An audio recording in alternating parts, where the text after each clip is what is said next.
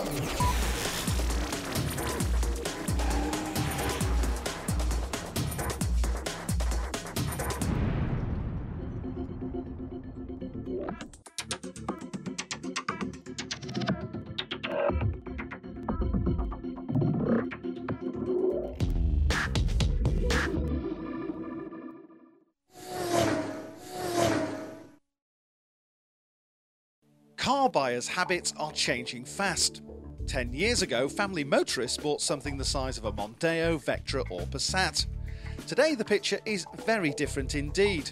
If you can afford the extra and don't need the space, you'll probably be buying a 3 Series, an A4, or a C Class. And if you do need the capacity, like it or not, you'll go for broke with an MPV. You can see the problem Ford faced with its new Mondeo. Aspiration is now the key. Ford wants you to want a Mondeo again. So, on top of the strength of the old car, there's more emotion to the whole idea of Mondeo ownership.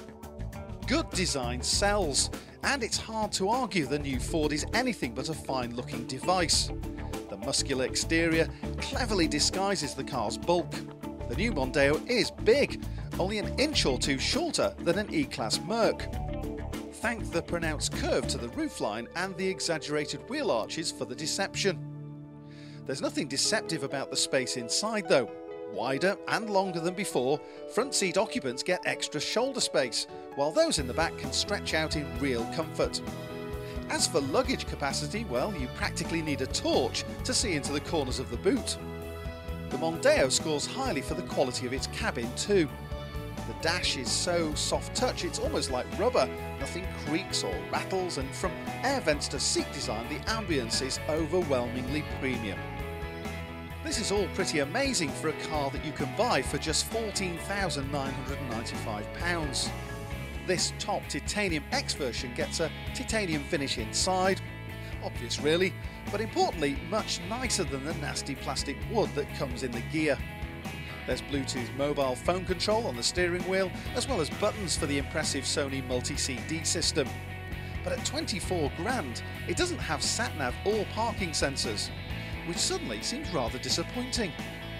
The engine here is the same as you'll find in Ford's very hot hatch, the Focus ST. With 5 cylinders and 220 brake horsepower, it's not the typical company Mondeo, but it certainly has appeal to those who appreciate a fine drive. This is the best of both worlds with the low down pulling power of a diesel and acceleration that never falters right past 6000 RPM. The 0 to 60 time of 7.5 seconds is only half the story. This Mondeo achieves it also effortlessly and with much refinement. The steering and handling is up there with prestige competition too.